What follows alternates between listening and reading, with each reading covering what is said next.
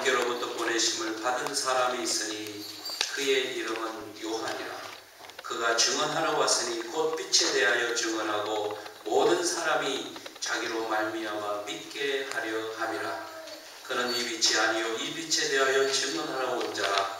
참빛 곧 세상에 와서 각 사람에게 비치는 빛이 있었나니 그가 세상에 계셨으며 세상은 그로 말미암아 지은 바 되었을 때 세상이 그를 알지 못하였고 자기 땅에 오매 자기 백성이 영접하지 아니하였으나 함께 읽겠습니다.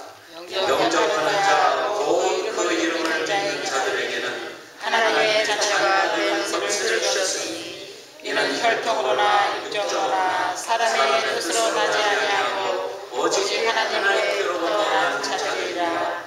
말씀이 육신이 되어 우리 가운데 거하시네 우리가